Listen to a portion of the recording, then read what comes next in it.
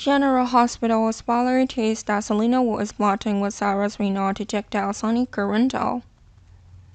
With this connection, Selina and Cyrus could become the two co-leaders of the mob. Of course, the two will work together and be ready to take down other enemies. They have the same position and there are no rules about who will have to bow to whom. Selina and Sonny are allies in business, and of the five families, the Corinthos family is at the top, and the remaining are the Wu family. Of course, the other three families left in the mob were almost destroyed. Selina had been working with Sonny for a long time, and the two had come to trust each other. However, things have begun to change recently. Sonny holds Selina responsible for what Selina did to Gladys Corbin. Sonny believes that Gladys is addicted to gambling and that Gladys had changed her personality. Sasha Gilmore is one who has been hurt in all of this. Selina once again accepted her gold. Selina tried to explain, but Selina knew that those explanations were meaningless. Sonny is a control freak when it comes to mob matters, and Selina is one of them.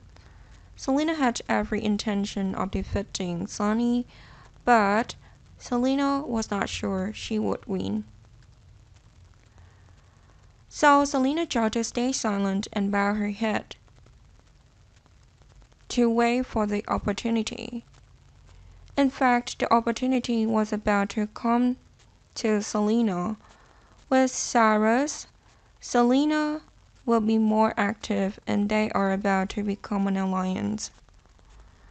Selina would not want to fight Sonny, nor would she want to become an alliance with Cyrus.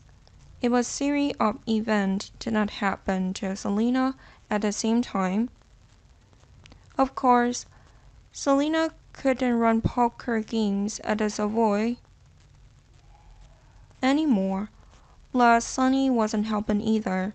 Sonny even blamed Selina for dragging Sonny family into the crowd, specifically Gladys. It's time for Selina to fight Sonny, and all of Selina previously pent up emotion will be released. It was true that Selina and Cyrus would attack Sonny directly, but Selina did not know that Curtis Ashford was on Sonny's side. It turns out that the story about Curtis being paralyzed was fake. And it turns out that Curtis' real purpose was to find Selina and drive her out of town. Sonny actually suspected Selina from before and Sonny also knew Selina was the one who attacked Cyrus. The target in the attack at the Metro building in the past were both Sonny and Curtis. Of course, the attacker was only able to knock out Curtis and flee immediately afterward.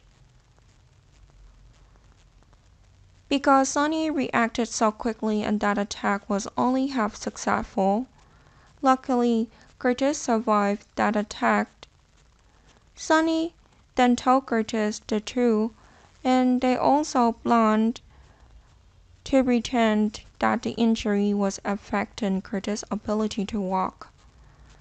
Sonny of the past will be hot-tempered and wants to take down Selina the moment Selina cramps is discovered, but the current Sonny has become more gentle. But what have more precisely calculated plans to take down the enemies once and for all. Thanks to that plan, Sonny and Curtis learned about Selina fake. When Cyrus and Selina rushed in to attack Sonny, it was also time for Curtis to throw away his wheelchair and attack Selina Allion. Selina would be quite surprised, and Selina would be even more surprised after Curtis tells Selina Curtis and Sonny Previous detailed plan. Both Selina and Cyrus would be defeated in one go. and Curtis would no longer have to pretend to be paralyzed.